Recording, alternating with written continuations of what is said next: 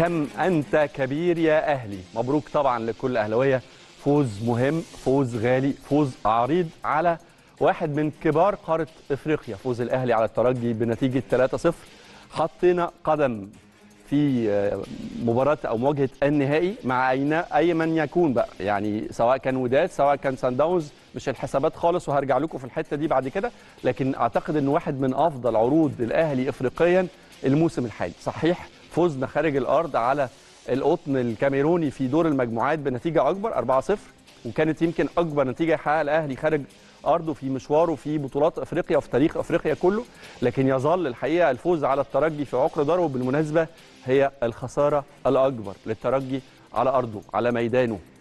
وأعتقد طبعا إنه رغم الخسارة يبقى الترجي ليه احترامه وليه تقديره فريق كبير مش ممكن ابدا تأثر عليه خسارة من الحجم ده أو حتى لو فقد فرصه في التأهل للمباراه النهائيه يظل الترجي واحد من كبار القوم في قارة إفريقيا. لكن الأهم عندي هي فكرة الحسابات لأنه الناس النهارده ابتدت تحسب حسابات الوصول للنهائي.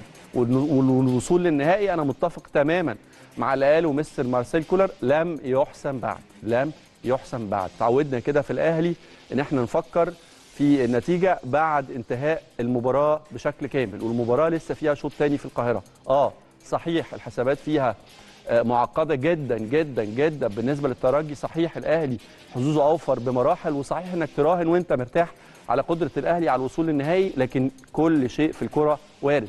والمثل اللي اداه مستر كولر وقال إنه برشلونة وليفربول الريمونتادا التاريخية خسارة ليفربول بثلاثة في الكامب نو وعودته في الانفيلد بمكسب أربعة وإقصاء برشلونة ما زال حاضر لأنه الكلام ده ما حصلش من زمان، الكلام ده حصل من قريب، فكل شيء وارد في كرة القدم، لكن يبقى عرض امبارح واحد من أفضل عروض النادي الأهلي، وخد بالك إنه الأهلي من ساعة ما بدأ مشواره في إفريقيا أنا بحب جدا جدا جدا الرد العملي.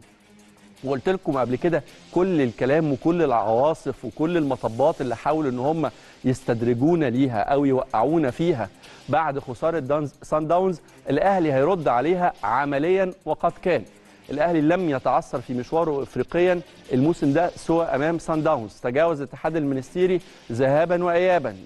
تفوق على الهلال السوداني في مجموع المباراتين. تفوق على القطن الكاميروني. تفوق وأقصى الرجاء من دور الثمانيه وهو يفعلها مجددا أمام الترجي. وبإذن الله للحوار بقية يوم الجمعة اللي جاية مباراة ليها حسابات يمكن تكون مختلفة وخصوصا إن شاء الله إنها هتكون بوابة العبور للمباراة أو للمواجهة النهائية اللي هتقام عشان في ناس لغاية دلوقتي لسه مش عارفة. ماتش أو مواجهة النهائي هتقام من جولتين عودة للنظام القديم. إن شاء الله لو ربنا كرمنا يوم الجمعة اللي جاية قدام الترجي هنلعب مباراة الذهاب هنا في الدور النهائي على أرضنا ثم مباراة العودة خارج مصر.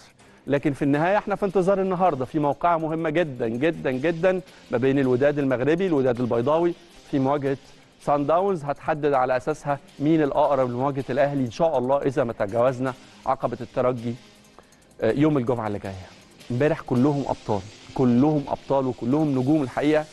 ويعني. حالة تألق غير عادية وإن كان وإن كان في مسحة حزن كده يعني بعد المباراة ما تخلص وتقف مع نفسك فرحان بفوز الأهلي بنتيجة عريضة جدا طبعا بره أرضه فرحان باقتراب وصولنا للمباراة النهائية للمرة الرابعة على التوالي نأكد ونقول الأهلي بيصل نهائي دوري أبطال إفريقيا للمرة الرابعة على التوالي ده في حد ذاته وبصرف النظر عن قدرتنا على التتويج من. من عدمه لكن يحسب للجيل ده يحسب لعمالقة النادي الأهلي يحسب لاسم النادي الأهلي قدرته على الوصول لنهائي دوري الأبطال أربع في أربع نسخ على التوالي إن شاء الله.